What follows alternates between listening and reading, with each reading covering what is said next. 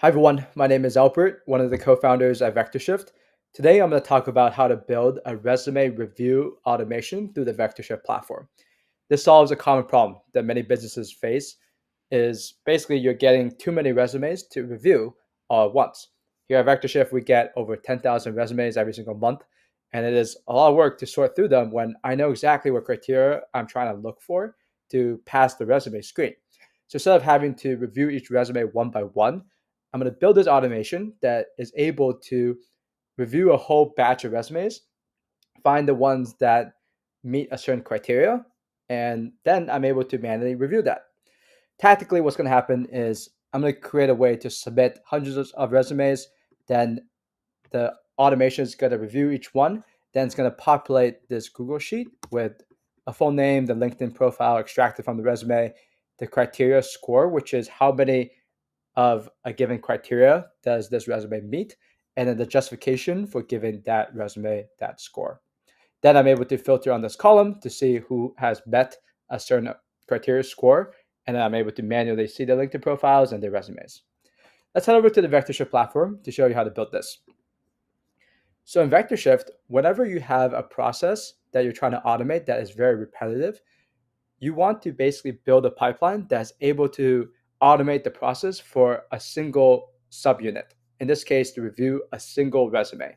Then you have another pipeline that is able to call that pipeline on repeat, and that is able to, you know, uh, automate a whole batch of work. In this case, thousands of resumes by calling that process over and over again.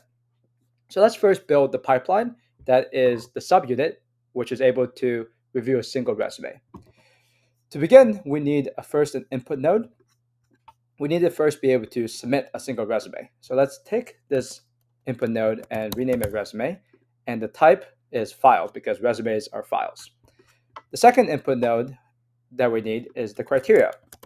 So when I have a batch of resumes, I have you know certain criteria that I want to you know sort them by. For example, I want people with at least one year of experience, and I need to provide that through an input so that I'm able to provide that in the future to an LLM um, so that they can see whether or not this resume matches this criteria. Let's go ahead and now drag out an LM node. This LM node is the one that's going to evaluate the resume according to the criteria and then give a justification for whether this resume meets the criteria or not. I have a prompt that's pre-written. Basically, what it says is it's telling the LM that you're given a resume and your job is to evaluate how closely the criteria is met for the resume and then generate exactly whether the you know which criteria is met or not, and then the justification for that um, that criteria. So let's go ahead and connect the resume and the criteria to this LLM now. In VectorShift, whenever you want to pass data between nodes, you use something called variables. How to turn on a variable is you just use double curly braces and then you select the node that you want to connect to and then the output field. So in this case, the resume node has two output fields because it's a file. It's the file itself or it's the text from the file. LM nodes need text, so that's why we are calling the process text output field from the resume node. All right, let's con connect the criteria as well. And there we go. So this LM is already now outputting the evaluation based on the criteria. Now, as you saw from the Google Sheet, there's a column called, called criteria score what we need to do is we need to understand how many of the criteria are met. So, you know, say I have four criteria, maybe this person meets three out of the four. To be able to do that, I need to use an extract data node. I need to extract the total number of criteria and the total number of criteria that has been met. So I'm going to extract, you know, from this OpenAI node, the number of successes which is the number of criteria that has been met, and then the total number of criteria. And then I have some brief descriptions for what these are. Basically, the total, just basically what I said, you know, the number of criteria specified and the number of criteria the applicant has met. I'm going to just give it some additional context to this extract data node to say, you know, this is a breakdown of how many requirements an applicant has met, extract how many they have met and how many there were overall. So now I want to format this a little bit better because basically I want to be able to filter my Google Sheet and say, you know, this person has met three out of the four criteria, or four out of four, or two out of four. So all I have to do is take out a text node. And basically, I have to do number of successes over number of total criteria. So let's go ahead and connect extract data, number of successes, and then divided by extract data, total number of criteria. So if this LLM determines that I've met all four criteria, the number of successes will be four, the total number of criteria will be four as well, and then this will print four out of four, which I can then populate into the Google Sheet. Finally, if you remember from the Google Sheet, I have to also extract the full name of the person and the LinkedIn of the person from the resume. So let's go ahead and drag out another extract data node. And I'm going to extract this directly from the resume text. So let's just say resume.process text again. And I have some helper text. And I'm just going to tell this extract data node to extract relevant information. And then if nothing could be found, return unknown. So there's two fields. There's full name and then there's LinkedIn profile. And I have some helper text to describe each of these fields as well. There we go. The sub pipeline is almost finished. The only thing we need to do is to pipe the data into Google Sheets. So let's drag out a Google Sheets node, and we need to add a new row for each candidate. So let's go ahead and pick a file. The file that I have currently up as an example is called resume Let's select the sheet within the Google Sheet and confirm selection. Within the Google Sheet, we're going to populate each of the columns that you just saw. So the full name is coming from extract data one, full name. The LinkedIn is also coming from extract data one. LinkedIn profile is the field. The criteria score is coming from this text node. And then the justification is coming from the OpenAI zero node. There we go. We have all the pieces done for the subpipeline. Just as a review, the sub pipeline takes in two input fields, the resume and the criteria. Then this LLM goes to and figures out how many of the criteria does the resume meet. Then based on um, the justification, I figure out with this extract data node how many successes versus how many total criteria there are, display it through a text node, and then pipe into Google Sheets.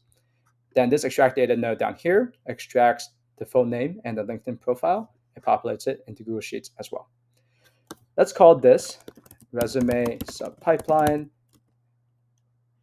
And now, as I discussed from the beginning, is we're going to build another pipeline that calls this in a loop to be able to process a lot of different resumes. So let's go ahead and deploy changes. Let's head back to the pipelines menu and click new on the top right and create another new pipeline. Let's call this resume master pipeline. So what we're trying to do with this pipeline is we want to give the user, or myself in this case, the ability to upload a lot of resumes, let's say hundreds or even thousands, and then pipe the, these individually into the other pipeline, call that in a loop, and then we'll be able to automate this process end to end. So let's go ahead and first drag out an input node. So the input node is first we need to title this resumes. This is going to allow the user to upload a lot of different resumes. And the type here is list of files, which means a lot of different files that you can upload at the same time. So then we need to drag out a pipeline node. And let's select the pipeline that we just made called resume subpipeline. And you can see that it takes in two fields, criteria and resume we need to turn on list mode, which is now it'll take in a list of text and a list of files, which is what we want. We want to be able to take in a list of all the resumes and a list of criteria to evaluate the resumes against. So with the resume input field, let's go ahead and select the resumes input node. So now it connects. Now we're going to take in a, you know, an arbitrary number of files and then process them one by one.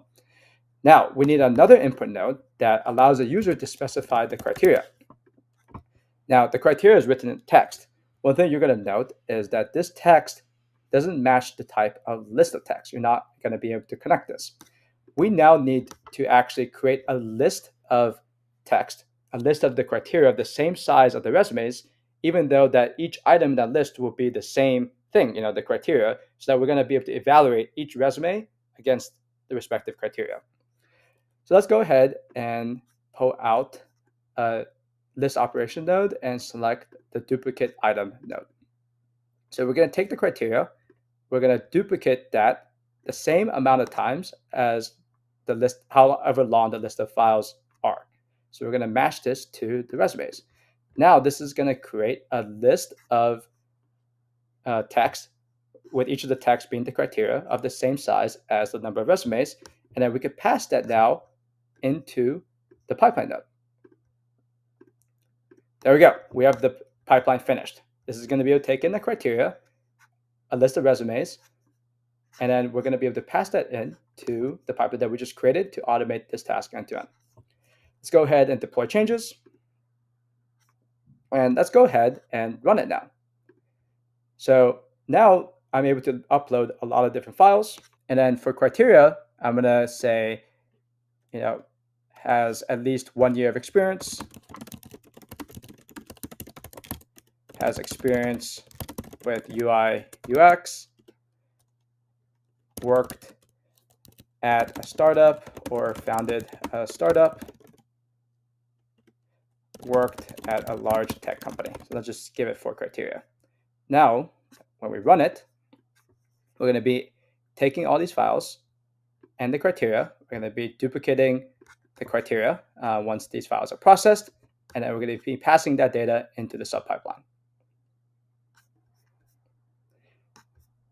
As resumes get reviewed, they're going to get populated to the sheet. Cool. Thank you very much. Hope this was informative.